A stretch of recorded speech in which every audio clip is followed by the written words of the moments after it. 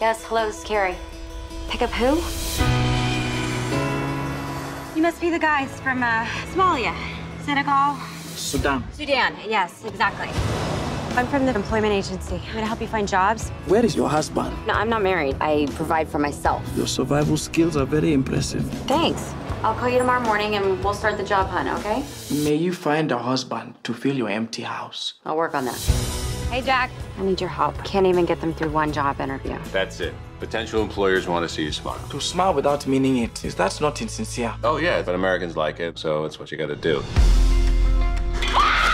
There is a reason you do not have a husband. You can't just break into somebody's house. I am here to thank you. Because of you, we have jobs. What's their story, anyway? I'm not sure. They seem pretty traumatized. When I dropped them off the other night, I said goodbye, and they looked at me like they were never gonna see me again. Made my way to the borderline. You can't get involved in these people's problems. I had 34 brothers and sisters. They all died but one. And she need to be here with us. Since 9-11, the program here is stopped indefinitely. I'm wondering if you think the INS would approve me hosting a refugee. If you can get the whole house presentable, yeah. What's wrong with the rest of the house? Really? You don't have an appointment. I know. Now, who do I have to screw around here to see an immigration supervisor? Me. Thanks, Cupcake. Where's she from? Sudan. That's gonna be a problem. She's a child refugee of war.